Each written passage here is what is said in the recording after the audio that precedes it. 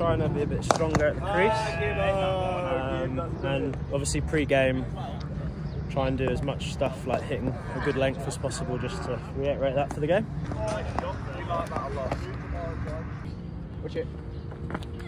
So we're working through how he feels the ball out of his fingers and he, and he, he now wants to feel that he could not rip his fingers over the top of the ball any quicker he's not running it as, as, as, quickly as he normally would do. So we're over exaggerating the feel that he needs to generate to get most spin.